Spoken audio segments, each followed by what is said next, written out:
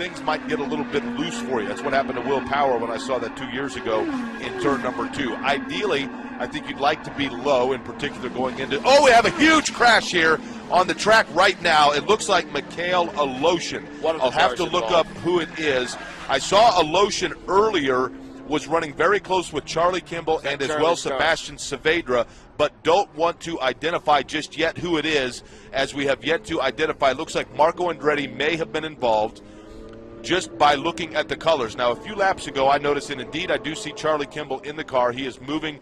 That is good news. But I did see, and he gives two thumbs up, does Charlie Kimball. Charlie Kimball gave two thumbs up in that 83 machine. I saw earlier that we saw Sebastian Saavedra running with those, but this is going to be Mikhail Aleshin, also Charlie Kimball. Jack Hawksworth is involved as well. Looked like Mikhail Aleshin and Sebastian Bourdais, I understand, also involved.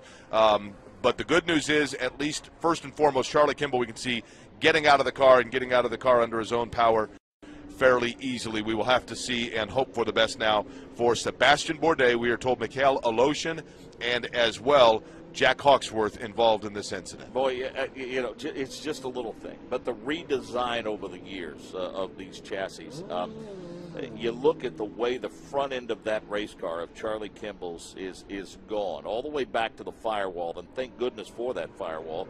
Uh, we see Marco Andretti; he's out on the course. The safety vehicle is going by to pick up Marco Andretti. So uh, we're happy to report that uh, Charlie Kimball and Michael Andretti both got out of their cars. They appear to be okay. They're walking to the safety vehicles under their own power. Uh, we're waiting for an update now to see what the situation is with the car of Jack Hawksworth uh, and the number 11 machine of Sebastian Bourdais. This incident is in turn number four. Now, Hawksworth is on pit road. Didn't mean to interrupt. Jake, Okay. we do see the 98 machine of Hawksworth is on pit road. Okay. Uh, and it looks like they are working on Mikhail Aleshin, and this is probably going to end this session of this warm up here It is because we at the Auto now, Club Speedway in Fontana, California. Jake, we can see now that uh, a car got up into the fence, uh, the catch fence portion of it, and has disconnected the fence.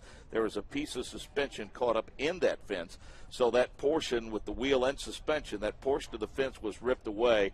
And this is what you sometimes don't like about final warm-up sessions on ovals. Uh, we understand uh, uh, that, that that you know you wanted one session under race conditions, and we pushed it back so, so the sun would not be a factor. But uh, uh, I think our thoughts and attentions right now uh, turn to the driver of the number seven machine, Mikhail Aleshin. That's who we believe uh, the safety crew is, is working to extricate from his vehicle now. Uh, as we said, we know the 98 machine of Jack Hawksworth. It reported back to pit road. We saw Marco. We saw Charlie Kimball. Uh, Nick Yeoman, I, I know you don't have a good view of the entire pit road, but did the 11 of Sebastian Bourdais make it back to pit road? Can you help us with that? I can look. Uh,